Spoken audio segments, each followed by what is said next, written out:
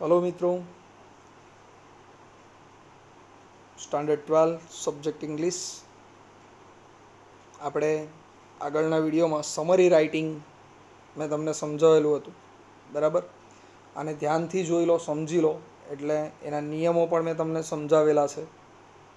બરાબર? એને ધ્યાનથી જોશો એટલે તમારું એમાં જ રિવિઝન પણ પૂરું થઈ જશે.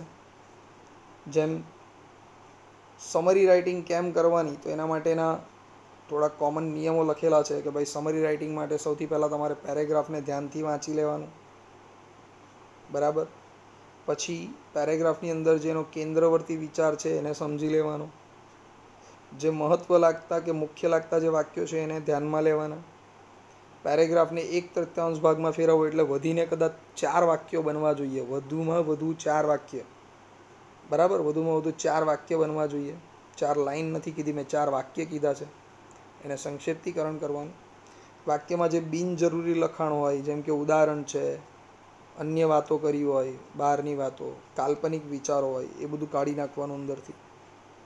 બરાબર? અને ઇન્ડાયરેક્ટ સ્પીચને બનાવવા માટે ખાસ તમારા, આપણે આપણા શબ્દોમાં સમરી લખવાની હોય છે, સંક્ષેપ્તીકરણ કરવાનું હોય, તો જે આખો પેરેગ્રાફ આપેલો છે, એને સમજીને વ્યવસ્થિત એને ઇન્ડાયરેક્ટ સ્પીચનો ઉપયોગ કરીને ઇન્ડાયરેક્ટ સ્પીચની વાક્ય રચનાનો ઉપયોગ કરીને કે સંયોજકોની વાક્ય રચનાનો ઉપયોગ કરીને કે પેસિવ વોઇસનો ઉપયોગ કરીને અથવા સિમ્પલ સેન્ટન્સ કે કમ્પાઉન્ડ સેન્ટન્સની વાક્ય રચનાનો ઉપયોગ કરીને તમે એનો જે સાર છે પેરેગ્રાફનો, એને સમરાઇઝ કરીને સમરાઇઝ કરીને લખી શકો છો. વધુમાં વધુ ચાર વાક્યો આવવા જોઈએ સમરીમાં એ ચાર વાક્યો લખી દીધા પછી એના ચાર માર્ક્સ તમને આપવામાં આવે. અને પછી જે તમારો સમરી તમે તૈયાર કરી છે, એની અંદર મૂળ કયો વિચાર છે, એના આધારે ટાઇટલ આપવાનું. એટલે ટાઇટલનો એક માર્ક્સ તમને આપવામાં આવે. એમ કરીને પાંચ માર્ક્સ છે, આવું સમજાવેલું છે આગળના વિડીયોમાં ફ્રેન્ડ્સ ત્યાર પછી મેં તમને એક એક્ઝામ્પલ તરીકે એક સમરી સમજાવેલી હતી પેરેગ્રાફ સમજાવેલો. ત્યાર પછી એની સમરી પણ સમજાવી છે. એનું ટાઇટલ પણ સમજાવેલું, કેવી રીતે આપ્યું છે. બરાબર? આવી જ એક બીજી સમરી સમજીએ. એક આઈએમપી સમરી છે બરાબર? આ પેરેગ્રાફ ઘણીવાર પૂછાયેલા છે. એવા જ પેરેગ્રાફ સમજાવી રહ્યો છું. એટલે પહેલાં ધ્યાનથી પેરેગ્રાફને સમજી લો. પછી એના મધ્યવર્તી વિચારને ધ્યાનમાં લઈને આપણે એની સમરી તૈયાર કરીશું અને એક વ્યવસ્થિત ટાઇટલ આપીશું. બરાબર? હવે જે અહીંયા એક લેશનનો પેરેગ્રાફ આપેલો છે, એ તમારા સપ્લિમેન્ટરી લેશનનો પેરેગ્રાફ છે. બરાબર? એમાં બચેન્દ્રી પાલ બચેન્દ્રી પાલ આપણા દેશની પ્રથમ ભારતીય મહિલા જે માઉન્ટ એવરેસ્ટ જેણે સર કરેલું હતું, એના વિશે એ લેસન છે. અને માઉન્ટ એવરેસ્ટ સર કરવા માટે એણે શું તકલીફો પડી હતી, એનો એક્સપિરિયન્સ એનો અનુભવ અહીંયા એ લેસનમાં છે. તો એના પેરેગ્રાફ પણ વધારે પૂછાય છે એક્ઝામમાં તો એવો જ એક પેરેગ્રાફ અહીંયા લખેલો છે. તમે ધ્યાનથી જોજો, પહેલાં વાક્યો બધા સમજાવી દઉં. બરાબર? અહીંયા આખા પેરેગ્રાફમાં બચેન્દ્રી પાલનો કોઈ જગ્યાએ ઉલ્લેખ નથી, સાંભળી લેજો. પણ પેરેગ્રાફ લેસન આપેલો છે, મેં વાંચેલો છે, એના આધારે હું તમને કહી રહ્યો છું. બરાબર? પેરેગ્રાફ સમજીએ હવે. Ang Dorje was going to climb without oxygen આ પાર્ટની અંદર એક બીજું પાત્ર છે અંગદોરજી જે બચેન્દ્રી પાલના કોચ હતા, જેની સાથે માઉન્ટ એવરેસ્ટ ઉપર જઈ રહ્યા હતા. તો Ang Dorje was going to climb without oxygen Ang Dorje oxygen વગર જ પર્વતારોહણ કરી રહ્યા હતા. But because of his feet would get very cold પરંતુ, એમના પગ એ બરફને કારણે, કારણ ઊંડા બરફની અંદર ત્યાં ચાલવાનું, તો બરફના જે પેલા શૂઝ પહેરેલા હોય, શૂઝની અંદર પણ બરફ જતો રહે, તો એના કારણે એમના પગ ઠંડા પડી ગયા હતા. He thus wanted to avoid long exposures at heights બરાબર? And a night at the summit camp તેથી એમણે ઉપર ઊંચાઈ ઉપરનું જે ઊંચું ચઢાણ હતું, સાહસિક ચઢાણ એક્સપોઝર એટલે સાહસિક ચઢાણ જે હતું, એ કરવાનું એ દિવસે ટાળ્યું, વિચાર ટાળ્યો. And night at the summit camp અને વિચાર્યું કે સમિટ કેમ્પ બરાબર? ઉપર ચઢાણ કરતી હોય, હિમાલય માઉન્ટ એવરેસ્ટ પર ચઢાણ કરતી વખતે જે અટકવાની જગ્યા છે, એ સમિટ કેમ્પ છે. એ સમિટ કેમ્પમાં નાઇટ વિતાવવાનું એમણે નક્કી કર્યું. He had therefore to either get to the peak and back the south col the same day he had therefore આના કારણે તેથી તો એમણે બેમાંથી કોઈ એક વિકલ્પ પસંદ કરવાનો હતો. ક્યાં તો એક જ દિવસમાં છેક માઉન્ટ એવરેસ્ટની ટોચ પર જઈને પીક એટલે એની ટોચ પર, એના શિખર પર પહોંચીને એ જ દિવસે પાછા સાઉથ કોલ પર પાછા આવી જવું. જ્યાં પેલું નાઇટ કેમ્પ કરેલો છે સાઉથ સમિટ પર. ત્યાં પાછા આવી જવું. ઓર અબંડન ધ અટેમ્પ અથવા આ વિચાર માંડી વાળવો. બરાબર? ઓક્સિજન વગર ઉપર જવાનું. પગ ઠંડા પડી ગયા હતા. તો કાં તો એ જ દિવસે, એક જ દિવસે ઉપર છેક શિખર સુધી પહોંચીને પાછા આવી જવું, જે બહુ અઘરું કામ હોય છે. ક્યાં તો પછી એ વિચાર જ માંડી વાળવાનો. આ બેમાંથી કોઈ એક વિકલ્પ અંગદોરજી પાસે હતો. સાથે લેખિકા પણ છે. એટલે કે બચેન્દ્રી પાલ પણ સાથે છે. He was keen to start immediately પણ અંગદોરજી છે ને વિચારોના બહુ મજબૂત મનોબળવાળા વ્યક્તિ હતા. તેઓ એવું માનતા હતા કે જો વહેલી સવારે ચઢાણ શરૂ કરીએ, બરાબર, તો કદાચ એક જ દિવસમાં છેક ઉપર જઈને પાછા આવી જવાય. સમિત કેમ્પ સુધી, સમિત કોલ, સાઉથ કોલ સુધી. તો he was keen to start immediately Ang Dorje એવું ઈચ્છતા હતા કે જલ્દી વહેલી સવારે જ ઉપર ચઢાણ શરૂ કરી દઈએ. એન્ડ અને and asked if I would like to go with him અને એમણે એના માટે મને આવીને પૂછ્યું મને એટલી લેખિકાને આ પાઠની લેખિકા છે બચેન્દ્રી પાલ એમણે મને આવીને પૂછ્યું કે શું તું મારી સાથે આવવા તૈયાર છે? તો મારી સાથે આવવા માગે છે ઉપર. Going to the top from the south col and back in a day would be a strenuous and tough, and there was a risk of Angdorji turning back if his feet got too cold. તો મને ત્યાં વિચાર આવ્યો કે going to top from the south col south કોલથી છેક ઉપર ટોચ પર જવું, ઘણું બધું અંતર છે, તો છેક ટોચ સુધી જવું અને એ જ દિવસે and back in a day અને એ જ દિવસે પાછા ફરવું would be a strenuous and tough જે ખરેખર ખૂબ જ મુશ્કેલ અને અશક્ય લાગતું કાર્ય હતું. And there was a risk of Angdorji turning back અને એ ઉપરાંત પાછા ફરતી વખતે મને અંગદોરજીનું પણ થોડુંક જોખમ લાગતું હતું. If his feet got too cold જો એના પગ એક તો ઓક્સિજન વગર ચડતા હતા અને જો એમના પગ વધારે પડતા થીજી જાય, વધારે પડતા ઠંડીના કારણે થીજી જાય ને ચાલી જ ન શકે, તો પછી એમને ઉચકીને એમને મરવા માટે ત્યાં મૂકી તો ન અવાય, તો એમને ઉચકીને મારે નીચે લાવવા પડે. બરાબર? જે મારા માટે કદાચ અશક્ય કામ હતું. બરાબર? એટલે મેં પહેલાં વિચાર કર્યો, લેખિકા કહે છે, અંગદુરજીનો ઓફરનો I however had full confidence in Angdorje પરંતુ મને જો કે મને હવે વર અહીંયા વિરોધ દર્શાવે છે જો કે મને મારા કરતાં as well as in my stamina and climbing capability મને મારી મારા સ્ટેમિનામાં એટલે મારો જે આંતરિક બળ મારું જે હતું, મારા સ્ટેમિનામાં અને મારી પર્વતારોહણ કરવાની જે જે કેપેબિલિટી હતી, જે શક્તિ હતી, મને એનામાં જેટલો વિશ્વાસ હતો મારી જાતમાં એટલો જ વિશ્વાસ મને અંગ દોરજીમાં પણ હતો. Besides no one else was ready to move then આ ઉપરાંત કોઈ જ એમની સાથે ઉપર જવા માટે તૈયાર ન હતું. બરાબર? આ ઉપરાંત બીજી કોઈ બાબત નહીં હતી કે જે મને ઉપર જવા માટે તૈયાર કરે. ખ્યાલ આવી ગયો? તો તમને આખા પેરેગ્રાફમાં શું આપેલું છે? તો ભાઈ, અંગ દોરજી વિશે આપેલું છે કે અંગ દોરજી એ ઓક્સિજન વગર ઉપર જઈ રહ્યા હતા અને એના કારણે એમના પગ ઠંડા પડી ગયા હતા. બરાબર? તો એમણે એક જ દિવસે છેક સાઉથ કોલથી સાઉથ કેમ્પથી છેક ઊંચાઈ પર જઈને આવવું, ટોચ પર જઈને પાછું ફરવું, એ એમને અઘરું લાગતું હતું, અશક્ય લાગતું હતું. બરાબર? તો એ વિચારતા હતા કે ભાઈ બેમાંથી એક થઈ શકે, કાં તો ઉપર જઈને એ દિવસે પાછા આવવું અથવા એ વિચાર માંડીવાળું. બરાબર? પરંતુ તેઓ ઉપર જવા માટે બહુ ઉતાવળા હતા, એટલે એમણે આવીને મને પૂછ્યું, લેખિકાને પૂછ્યું કે શું તું મારી સાથે આવવા તૈયાર છે? તો મને વિચાર આવ્યો કે ભાઈ, એક જ દિવસે એમની સાથે જઈને પાછા આવવું, કાં તો સાહસ કરી શકાય, બરાબર?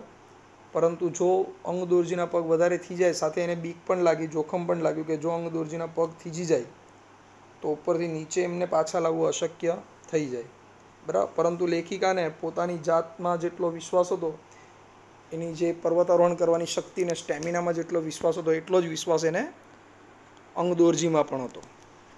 બરાબર? તો હવે એની સમરી જુઓ. બરાબર? સૌથી પહેલાં આગળ જે આપેલું છે એ પ્રમાણે આપણે એવું લખી દઈએ કે અંગ દોરજીને અંગદોરજી એક ઓક્સિજન વગર ચડી રહ્યા હતા. તેથી એમના પગ ઠંડા પડી ગયા હતા. બરાબર? પહેલું બે વાક્ય. તો એ જ વાક્ય મેં બનાવી દીધું છે. સમરી જોજો ધ્યાનથી. Angdorje climbed without oxygen so સંયોજક વાપર્યો મેં. So his feet would get cold તેથી એમના પગ ઠંડા પડી ગયા હતા. બરાબર? હવે એ જ પેરેગ્રાફમાં, પહેલા પેરેગ્રાફમાં જ આપેલું છે કે ભાઈ અંગદોરજીને શું કરવું હતું? તો એમણે ઊંચાઈ પર જઈને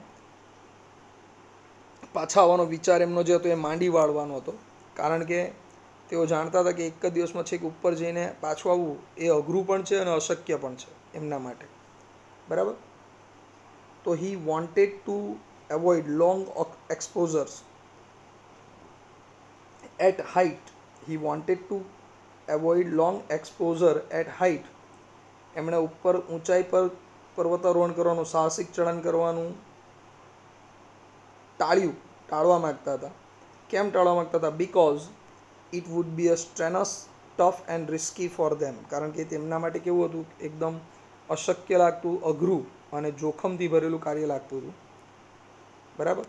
પણ ત્યાર પછી લેખિકાને અહીંયા બચેન્દ્રી પાલ નામ પણ લખી શકો. પણ મેં તમને કીધું એમ કે પેરેગ્રાફમાં કશે આપેલું નથી. હું તમને હમણાં કહી દઉં છું કે ભાઈ આ બચેન્દ્રી પાલ વિશે છે. પણ ધારો કે જે વાક્યમાં આઈ કરીને આપેલું હોય ને, કરતાં વધારે આય આપેલો હોય, ત્યારે તમારે એનો કરતા લખી દેવાનો ધ ઓથર સમરી બનાવવા માટે. તો અહીંયા મેં બચેન્દ્રી પાલ નામ નથી લખ્યું. મેં પણ તમને સહેલું પડે એના માટે ઓથર શબ્દ જ લખેલો છે. તો the author had full confidence લેખિકાને પોતાનામાં જેટલો પૂર્ણ આત્મવિશ્વાસ હતો, એટલો જ જેટલો પોતાની સ્ટેમિના અને ચઢાણ કરવાની જે તાકાતમાં જે આત્મવિશ્વાસ હતો, એટલો જ આત્મવિશ્વાસ એને અંગદોરજીમાં પણ હતો. તો the author had full confidence in Angdorji as well as her stamina and climbing capability. બરાબર? તો મિત્રો જુઓ, આખો પેરેગ્રાફનો અંદર સાર આવી ગયો. તમારું જે પહેલું વાક્ય જુઓ, કેટલા વાક્યથી આ પહેલું વાક્ય થઈ ગયું? પછી આ બીજું વાક્ય છે તમારું. બરાબર? અને પછી આ ત્રીજું વાક્ય છે. તો આ વન થર્ડ પાર્ટ થઈ ગયો. બરાબર? એક તૃતીયાંશ ભાગ થઈ ગયો. સમરીમાં બધો સાર આવી ગયો ઉપરના ફકરાનો. હવે એના આધારે આપણે ટાઇટલ આપીએ. તો જો ટાઇટલમાં શું લખેલું છે અહીંયા? તો અહીંયા શાની વાત કરી છે. તો અહીંયા જે બચેન્દ્રી પાલ છે, જે લેખિકા છે, એમને એમનું જે કોન્ફિડન્સ બતાવેલો છે. અને કોન્ફિડન્સના કારણે એમનું ઉપર ચઢાણ જે છે બરાબર? એ ચઢાણ કરવાની એમનામાં શક્તિ બતાવેલી છે, સહેલું કામ એમને લાગે છે. તો એને જ આપણે ટાઇટલ બનાવી દઈએ author's confidence made climbing easy ઓથરના લેખિકાના આત્મવિશ્વાસને કારણે ઉપર ચડવું સહેલું થઈ ગયું. બરાબર છે મિત્રો? તો આ એક બીજી તમારી સમરી કમ્પ્લીટ થઈ ગઈ. આવો જ એક બીજો પેરેગ્રાફ છે. જરા ધ્યાનથી એને બી સમજી લઈએ. એટલે આ ટોપિક અહીંયા પૂરો થઈ જાય.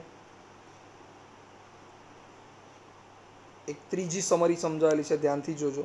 આ પણ ઘણીવાર પૂછાયેલા પેરેગ્રાફમાંનો એક પેરેગ્રાફ છે.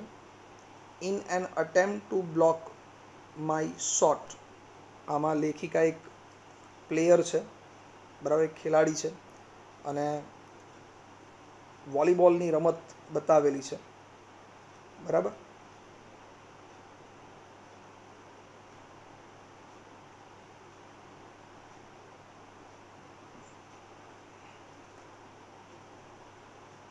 તો in an attempt to block my shot હું મારા શોટને એટલે મારી પાસે જે બોલ આવેલો હતો ને હું શોટ મારવા માગતી હતી, એને અટેમ્પ કરવા માગતી હતી. મેં બ્લોક કરી દીધો એને, એ શોટ મારી દીધો, મેં છેલ્લો શોટ હતો, મેં મારી દીધો. માય ઓપોનન્ટ એટલે મારી પ્રતિસ્પર્ધી challenge me in mid air અને ત્યાં જ મારી પ્રતિસ્પર્ધીએ હવામાં જ મને પડકાર ફેંક્યો મારા શોટને અટકાવવા માટે. But instead of heading the ball. પણ બોલને માથું મારવાને બદલે her body slam in to mind leaving me unconscious in the middle of the field. પણ એની જગ્યાએ અમારા બંનેના શરીર જોરથી પછડા, જોરથી અથડાયા હવામાં જ. અને હું જમીન પર મેદાનમાં, મેદાનની વચ્ચે જોરથી પછડાઈ, જોરથી નીચે પડી. અને હું ત્યાં જ બેભાન થઈ ગઈ અનકોન્શિયસ જેવી થઈ ગઈ. હું બેભાન અવસ્થામાં આવી ગઈ. માય ટીમમેટ્સ અને ત્યારે મારી સાથે જે સહખેલાડી હતા, મારા teammates shouted cries of victory and horror at the same time અને એ જ સમયે મને બેભાન થવાની પહેલાં મને સંભળાયું હતું કે મારા જે ટીમમેટ્સ હતા, એ કેટલાક સહખેલાડીઓ અમે જીતી ગયા હતા, એની ચીસો પાડી રહ્યા હતા, એમની ચીસો સંભળાતી હતી મને. તો કેટલાક મને પડેલી જોઈને, મને બેભાન અવસ્થામાં પડેલી જોઈને ગભરાટના કારણે ચીસો પાડી રહ્યા હતા. હોરરની વચ્ચે. બરાબર?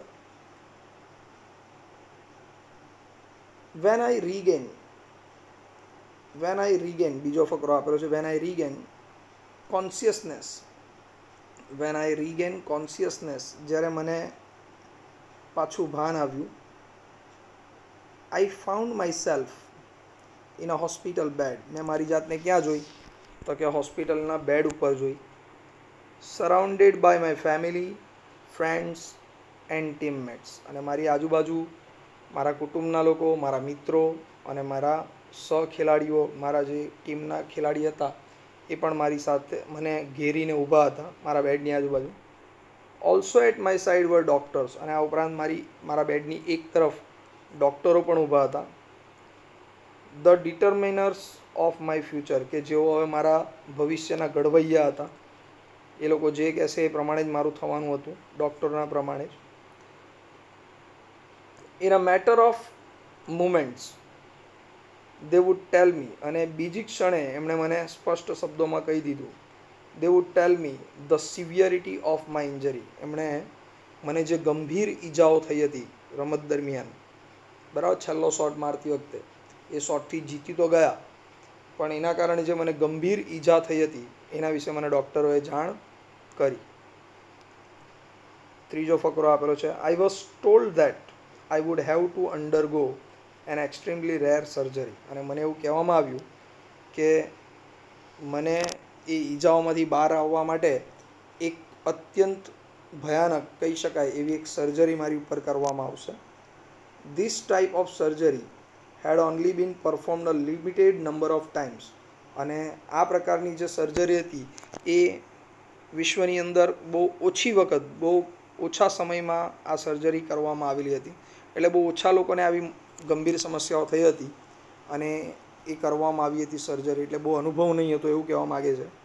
With a mere fifty percent success rate અને આ જે સર્જરી હતી, એ સર્જરીનું સારા થવાની સફળ થવાની જે સક્સેસ રેટ જે હતો એનો, સફળ થવાની જે પ્રમાણ હતું, એ પચાસ ટકા કરતાં પણ ઓછો હતો. બરાબર? એટલે ભાગ્યે જ સફળ થાય આવી સર્જરી એવું કહેવા માગે છે. આફ્ટર સમ થિંકિંગ થોડોક વિચાર ડૉક્ટરે મને સ્પષ્ટ શબ્દોમાં કહી દીધું ભાઈ, આ સર્જરીમાં સારા થઈશો એની શક્યતા ગેરંટી ઓછી છે. આફ્ટર સમ થિંકિંગ થોડોક વિચાર કર્યા પછી I decided to undergo the surgery મેં નક્કી કર્યું કે સર્જરી કરાવી જ લેવાની છે. બરાબર? એમ એ મરવાના છે અને પછી એ મરવાના છે એમ. તો મેં નક્કી કર્યું કે હું સર્જરી કરાવીશ. Knowing that either the way હું જાણતી હતી કે બેમાંથી કોઈ એક થશે. બરાબર? કાં તો હું સારી થઈ જઈશ, કાં તો નહીં થઈશ. Many challenges would await me પણ હું એટલું જાણતી હતી કે મારી આગળ હવે નવા પડકારો મને જે તકલીફ થઈ હતી, એ મને નવા પડકારોનો સામનો કરવા માટે થઈ હતી. એટલે વિચાર બદલાઈ ગયો. જો, આમાં બી પોઝિટિવ વિચાર કરેલો છે. કે ભલે તકલીફ થઈ, ભયાનક સર્જરીમાંથી પસાર થવાનું છે. પણ એમાં પણ કંઈક નવો પડકાર છે, સારી થઈ જ જઈશ, તો મને નવી ચેલેન્જોનો સામનો કરવાની તક મળશે. બરાબર? તો તમને આખા પેરેગ્રાફમાં શું આપવામાં આવેલું છે? તો ભાઈ રમત દરમિયાન જે લેખિકા છે, બરાબર? એને રમત દરમિયાન એક ગંભીર ઈજા થઈ છે. બરાબર? અને ઈજા થતાં જ એ બેભાન થઈને પડી ગઈ છે. જ્યારે એને ભાન આવ્યું, તો એ એણે જોયું હોસ્પિટલમાં જ્યારે ભાન આવ્યું ત્યારે એણે જોયું કે એના બેડની આજુબાજુ એના ટીમમેટ્સ ડૉક્ટર ફેમિલી મેમ્બર્સ વગેરે બધા એને ઘેરીને ઊભા હતા. બરાબર? બે વાક્ય થઈ ગયા. ત્રીજું વાક્ય એવું છે કે ડૉક્ટર દ્વારા એને જાણ કરવામાં આવી કે એને ગંભીર ઈજા થઈ છે અને એક ભયાનક સર્જરીમાંથી એને પસાર થવાનું છે. ત્રણ વાક્ય થઈ ગયા. ચોથું વાક્ય, એણે થોડોક વિચાર કરીને નક્કી કરી લીધું કે આ સર્જરીમાંથી પસાર થઈ જ જવાનું છે, કરવી, કરવાની જ છે, જેથી ભવિષ્યમાં જેથી ભવિષ્યમાં નવી ચેલેન્જોનો સામનો કરવા માટે તૈયાર થઈ શકાય. બરાબર? તો આ ચાર વાક્ય થઈ ગયા તમારા. તો એને તમારે સમરીમાં ફેરવવાનું છે. ચલો જુઓ, કઈ રીતે બનશે સમરી. જે ચાર વાક્ય બોલેલું છે એને જ આપણે ઇંગ્લિશમાં લખી દઈએ. તો જ્યારે લેખિકા રમતી હતી, ત્યારે અચાનક રમતા રમતા જ એને ઈજા થઈ અને એ બેભાન થઈ ગઈ, એવું લખવું છે. તો આપણી સમરી છે. When the writer was playing, when the writer was playing, she accidentally slammed with other player. જ્યારે લેખિકા રમી રહી હતી, ત્યારે અકસ્માતે તેણી બીજા ખેલાડી સાથે અથડાઈ and fainted in the ground અને મેદાનમાં બેભાન થઈને પડી ગઈ. બરાબર? કોન્શિયસની જગ્યાએ મેં નાનો શબ્દ લખ્યો છે ફેઇન્ટેડ પહેલું વાક્ય પૂરું. વેન સી ગોટ કોન્શિયસનેસ હવે જ્યારે એને ભાન આવ્યું હોસ્પિટલમાં. She saw her parents friends teammates and doctors એણે જોયું કે તેની આજુબાજુ એના ફેમિલી મેમ્બર્સ એટલે કે પેરેન્ટ્સ એના માતા પિતા એના મિત્રો, એના સહખેલાડીઓ અને ડૉક્ટરો એને ઘેરીને ઊભા હતા. હવે ત્રીજું વાક્ય, એને જાણ કરવામાં આવી ડૉક્ટરો દ્વારા. તો એ લખી દઈએ. She was told by the doctors એને ડૉક્ટર દ્વારા જાણ કરવામાં આવી કે that she will have to undergo a rare surgery એને જાણ કરવામાં આવી કે એક ભયાનક સર્જરીમાંથી એને પસાર થવાનું છે. કે જે which which had lower success rate કે જેના સફળ થવાની ચાન્સીસ બહુ ઓછા છે. The writer agreed for surgery knowing that either way she would have to face challenges બરાબર? રાઇટર સર્જરી કરાવવા તૈયાર થઈ ગઈ. કારણ એ જાણતી હતી કે એણે હંમેશા પડકારોનો સામનો કરવા માટે તૈયાર રહેવાનું છે. બરાબર? કોઈ નવી ચેલેન્જો પાર કરવાની છે. ઓકે? તો આ થઈ ગઈ સમરી. અને એના આધારે એક ટાઇટલ આપીએ તો શાના વિશે વાત કરી છે. તો લેખિકા સાથે એક અકસ્માત થયો, જેના કારણે એના આખા વિચારો બદલાઈ ગયા કે ભાઈ જે થયું છે સારા માટે જ થયું છે એમ. તો એને જ આપણે ટાઇટલ બનાવી દઈએ આ જ વાતને. તો the accident that change my life that accident the accident that changed my life એક અકસ્માત કે જેણે મારું જીવન બદલી નાખ્યું. ઓકે મિત્રો? તો આ થઈ ગયું તમારી સમરી રાઇટિંગ બરાબર? ટોટલ તમને ત્રણ સમરી સમજાવેલી છે. બરાબર? એને ધ્યાનથી જોઈ લો. એટલે તમને સમરી ખ્યાલ આવે, એને લખવાની ખબર પડે. ધ્યાનથી જોઈ લેવાનું. પહેલાં પેરેગ્રાફ વાંચી લેવાનો, એનો સાર લખવાનો અને એના આધારે ટાઇટલ આપવાનું. બરાબર? નિયમોને ધ્યાનથી જોજો અને આ વિડીયોને સ્ટડી કરજો. ડેફિનેટલી તમને સમરી લખતા આવડશે. પણ વધીને ચાર વાક્યો હોવા જોઈએ. એ ધ્યાન રાખજો મિત્રો. ઓકે ફ્રેન્ડ્સ તો બાય આપણું ગ્રામેટિકલ બધા જ પોઈન્ટ પૂરા. કોઈ ટોપિક હવે બાકી રહેતો નથી.